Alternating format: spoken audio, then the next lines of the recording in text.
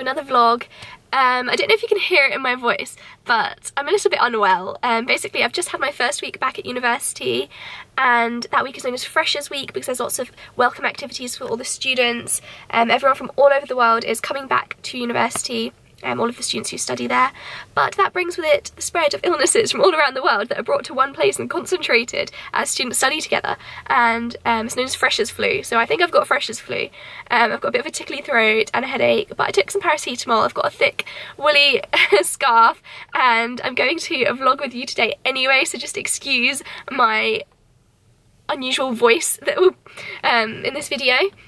However, I am in the town of Cirencester, which I've always wanted to visit. It's known as the capital of the Cotswolds because it's the largest town in the Cotswolds and it really has that traditional, really unique Cotswold style. It's a market town and it's been here since the Roman times and driving in I've already seen out the window like a cute little market set up and I know there's a Roman museum as well with the artifacts that they found at the um, Cirencester Amphitheatre so I'm looking forward to having a walk around I'm going to try not to do too much because obviously if I'm unwell I don't want to push myself. Just kind of have a cozy day, go to a cute coffee shop and have like coffee and cake or tea and just walk around and enjoy it. Luckily the weather is quite good um, because recently it's been raining but you can see out of the, the window that there's blue skies and it looks like a promising day. So yes, I'm looking forward to just enjoying it and sharing the town with you because like I said, it's not far from Bath. It was an hour to drive up here and yeah, so far it looks really cute. I'm looking forward to exploring it.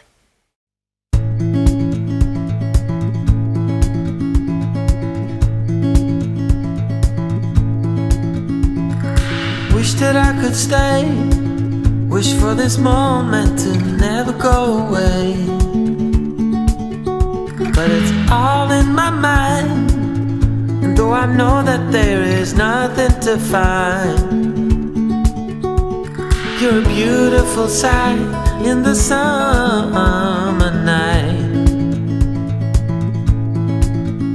And you can't put up a fight in the misty light.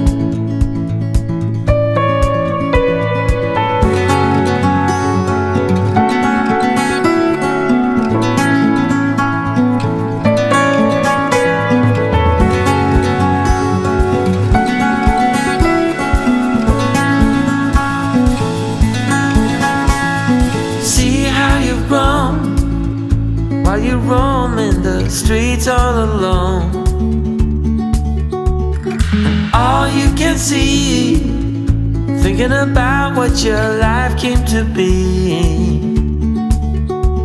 You're a beautiful sight in the summer night.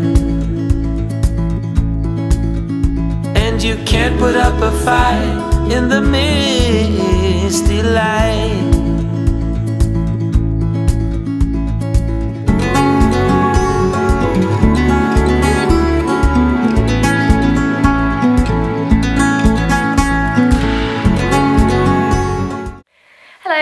It's been a while since I last filmed the bit of footage where I went to Cirencester because basically I just got even worse, my illness got bad and I mean it was okay, I had a high temperature, I just stayed in bed and needed time to rest and recover and I still have a little bit of a sore throat but I'm basically fine now. So I feel like there's been something really bad that's just been spreading in England at the moment because everyone I know is ill. And it was interesting when I went to uni to work on my project with my group because all of us were just sitting around the table coughing and sneezing and feeling half dead. So it was a bit difficult to get any work done through this week, but it's the weekend, I made it through. And today I'm planning to have a little bit of a chill day. I'm going to meet my friend for coffee in 15 minutes, so I actually need to leave because I need to run off there to meet her. Someone I haven't seen in a while, so it'd be nice to catch up, and the weather's not too bad, so it'd be nice to sit outside maybe in the sun a little bit and have a nice coffee, and then walk around Bath a bit. Um, I'll bring you along with me, and then I'm going to have a cosy evening. Um, I'll see what I'm going to do today. I'm not sure. This is a bit of a spontaneous vlog. I'm just going to bring you along with whatever I do. But yes, um, it's been busy and I'm tired so it's hard getting back into the flow of being at university. Although the project I'm doing at the moment is very fun and I'm enjoying it, Um, the task is to design a new Oxford college. We've had to choose an underrepresented group of students and create a college for them. So my group chose refugees for two reasons. First of all, because obviously um, refugees are underrepresented, it's difficult for them to get into higher education, so it's to encourage that. But then secondly, because when they go to university, they don't have a home to go to in the holidays. So unlike other students who have it as a temporary accommodation, for them it would be full time, that would be their home. So it's quite an interesting concept to go down that route of designing um, not just accommodation, but the whole campus. So an auditorium, library, dining hall, fellows rooms, everything for refugees and that was a really interesting route to go down. Um, like I said, I've only just started the project, so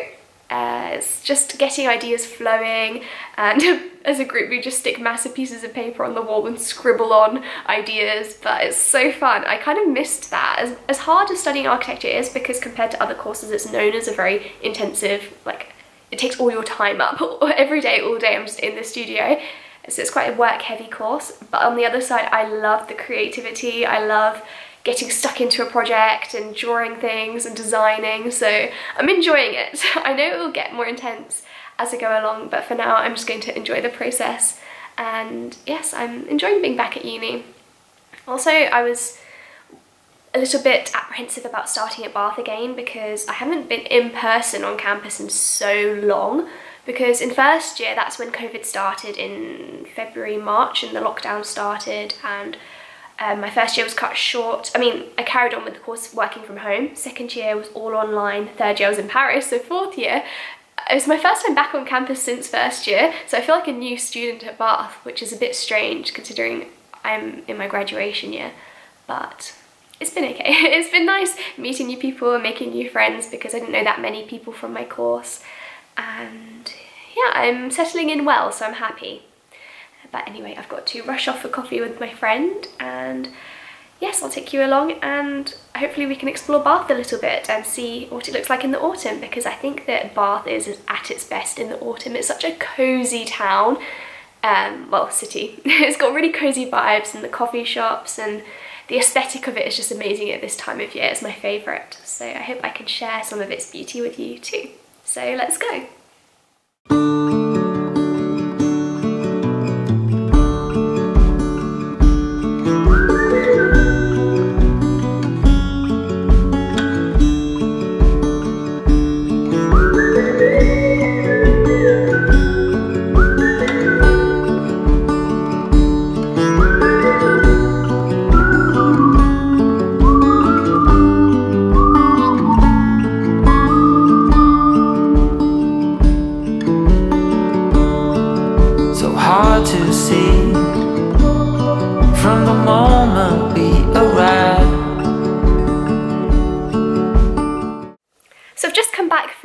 Friend for a coffee. Um, I had a mocha in a coffee shop that I've never been to before. It's called Quiet Street Cafe and it's really cute. I've passed multiple times and I always wanted to try it out. So today I had the opportunity to. And then we went for a lovely walk up to Alexandra Park, which is um, one of the best viewpoints in Bath. It's got an amazing view over the city and the skyline and it was just really good. Um, and lovely to catch up. I love um, friends who, even if you haven't seen them in a long time because it's been um, nearly a year since I last saw this friend, but when you meet them and it's like nothing has changed, it's like you saw them yesterday and you can just chat for hours, that's the best kind of friendship, so it was a really lovely day. Um, and now I'm a bit tired because like I said, I've just been ill and I've just gone on a long walk, so I'm really exhausted, so I'm going to have a cozy evening scrapbooking. And I haven't scrapbooked in oh my gosh, when is the last time I scrapbooked? Because I went to Paris on an exchange and I didn't bring my scrapbooking stuff with me because I have a massive box and I had too much stuff as it was that I brought with me, so it just wasn't possible for me to bring my stuff. And then since I've come back from Paris, I haven't had time to scrapbook. Been busy with other things. Now that it's getting into a colder, cozy season, I am I'm craving some scrapbooking time. So I've got out my box and I'm going to have a look through and um, see what I have because to be honest, I probably can't remember all of the supplies that I have in there. Have a look and get a nice cup of tea and some snacks and just scrapbook, put some music on. That's the plan for this evening. So this is my crate of scrapbooking supplies. It's very big. This is why I couldn't bring it with me because it's in a massive Fortnum & Mason's um, wicker basket, one of the picnic baskets, but it's just filled with supplies. And it is filled to the brim. Like, I basically save rubbish. And my family always tells me off for hoarding things because I have, you can see, like random tea, um, packets and things and like tissue paper and underneath it's just lots and lots of things. Because the best scrapbooking things are the things that you find on a day-to-day -day basis and collect. And you need a wide range of things because obviously depending on the aesthetic you're going for on that page you need to have things that color scheme that style.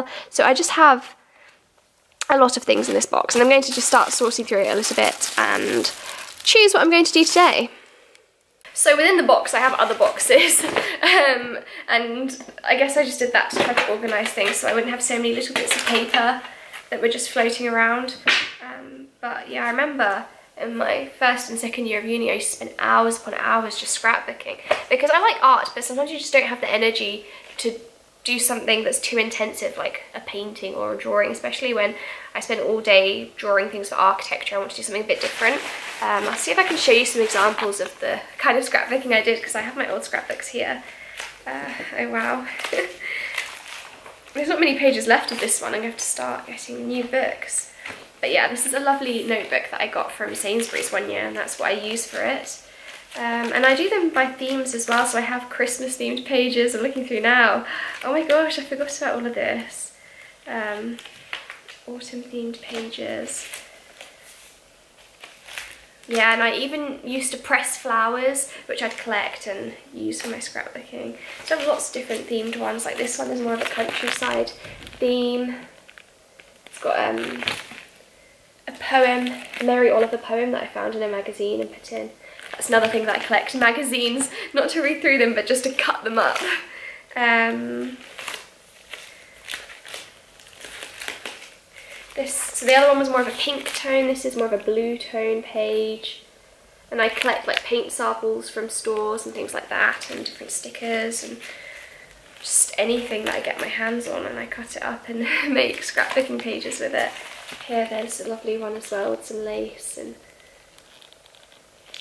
that's the kind of thing I enjoy doing. This is my second scrapbook. My first one was a notebook from Jack Wills with pheasants on it. It was a really beautiful one as well that is full and you can see how thick it is because obviously this stuff takes up lots of thickness. So yeah, that's the kind of thing I like to do in my free time. And they're basically mood boards that I put together with little clippings and um, some of them have more writing as well on them. So I'll put in quotes from books that I've read or um, I don't know, little drawings and sketches. There's all sorts in here. Like on this first page, I've got a little drawing of a pheasant that I did myself.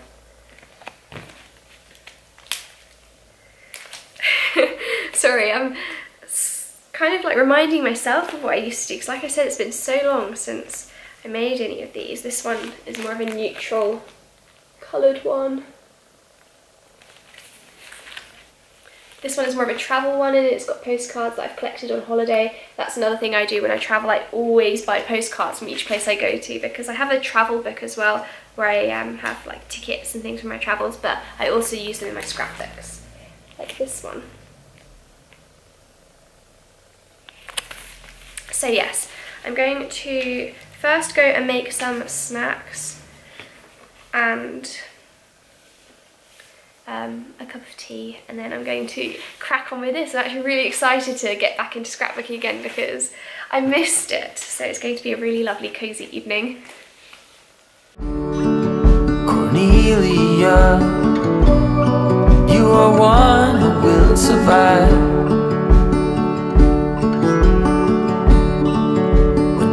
Been bad. You put smiles on everyone.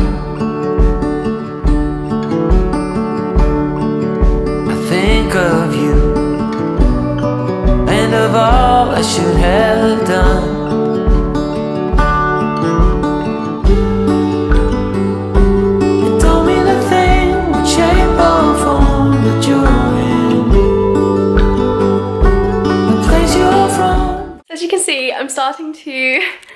everything out, just remind myself of what I have. I have lots of scraps of wrappers, tissue paper. I have lots in here that I've been starting to sift through.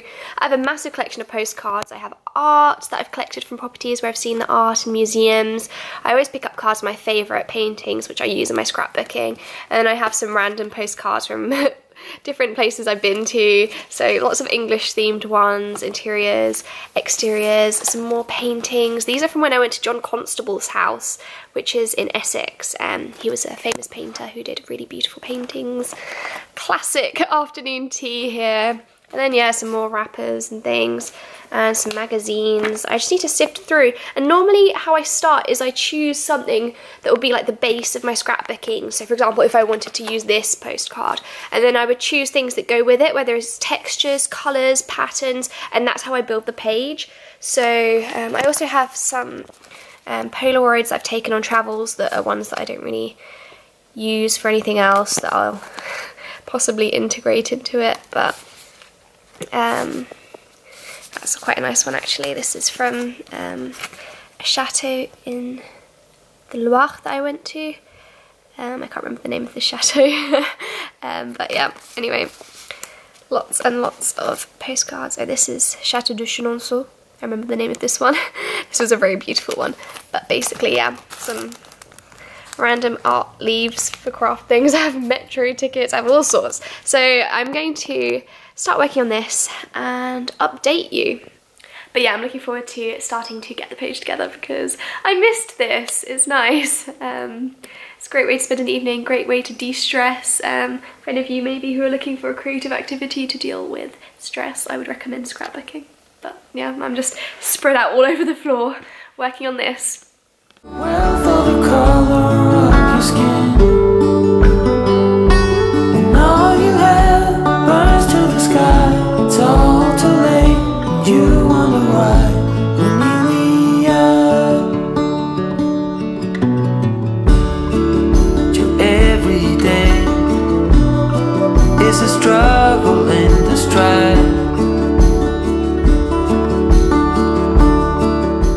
So a few hours later, I finished a page. Um, I'll show it to you now.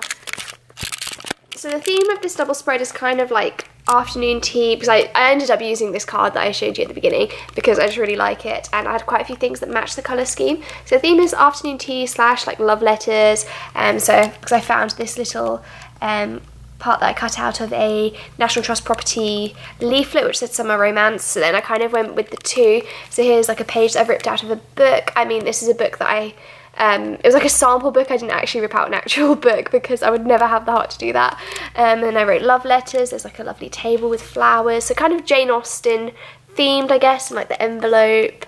Um, and here's a little Polaroid of Monet's gardens in Giverny, so like the water lilies and the weeping willow. And I've got like um, China there and then here as well and then here it's kind of carrying on with that theme, it's afternoon tea and there's a lovely quote which says to romanticize the world is to make us aware of the magic, mystery and wonder of the world. It is to educate the senses to see the ordinary as extraordinary, the familiar as strange, the mundane as sacred, the finite as infinite, which I love. I wrote that in calligraphy um, and yeah I've got some like tea don't know what you call them, tags, and this little paint smudge, which I cut out of a magazine, and yeah, I just, I'm quite happy with it. I also have some pressed flowers here, here, here, and here, and then I've got this little tea bag thing, and this brand of Yogi tea, each one has a little quote on, and this one says, happiness is when you do things for others. So I just feel like everything goes together quite nicely, and I'm happy with this page.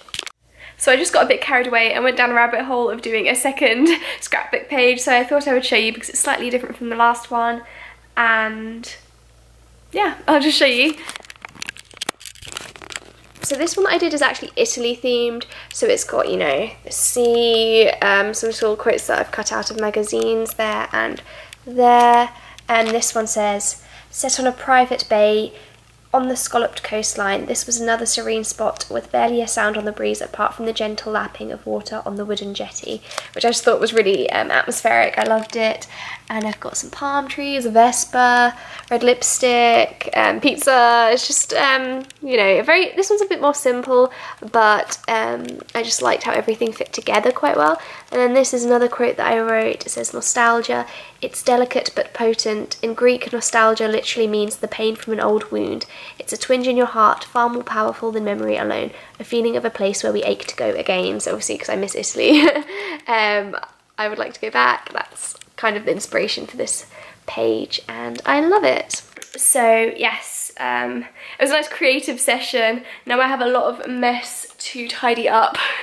so I'll be spending a while putting all of that way back in the box. But I'm glad I did this because it's been a while and it feels good. So I hope you are inspired to maybe make your own scrapbooks um, and collect little bits and bobs that you find, wrappers, leaflets, magazines, and just try to put them together in a pretty page. It's like a paper version of a Pinterest board basically. Because on Pinterest I like to do similar things, kind of have aesthetic boards I put together pictures around a theme and this is the paper version of that but I find this more satisfying and it's nice to get away from a screen sometimes as well so yeah I would definitely recommend it but um, I hope you enjoyed this video if you did, please like it and subscribe to my channel and I will see you next time. Bye!